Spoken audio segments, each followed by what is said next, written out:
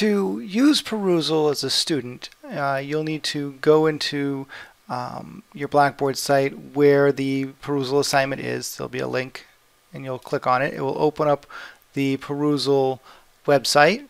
You may need to uh, register for the course for Perusall, which would either be with um, one of these accounts here or you can use your Middlesex email address and then create a password including your name then you will need to log in.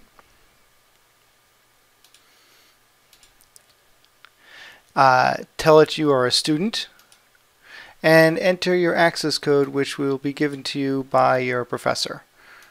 I will have one here. This will bring you to the uh, website where the documents are as well as your assignments. So as you can see here, you tell you your due dates. If I click on this and open it up, it will open up the reading assignment, which I can then uh, read through. And as I need to make notes, I just highlight what it is I wish to talk about. And it will bring up, let me highlight this a little better. It will bring up a place where I can put uh, my quotes or thoughts.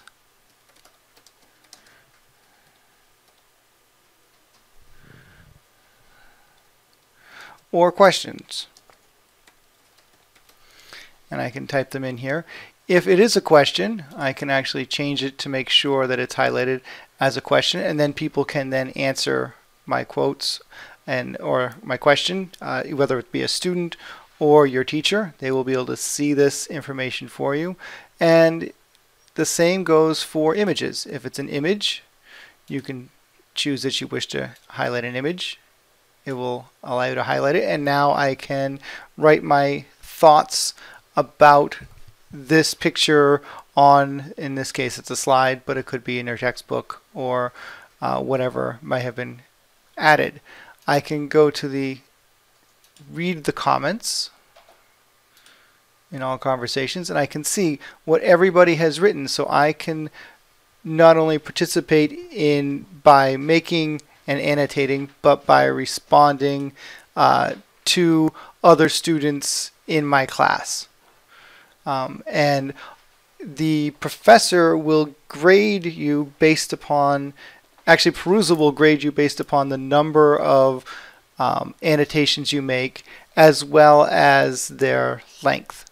So just saying yes or no does not count as a good uh, response, but it may be an, an appropriate one. So you may need to make more than the minimum requirement so you can communicate with your um, uh, classmates about their questions and ideas. I hope this was helpful um, and thank you for watching.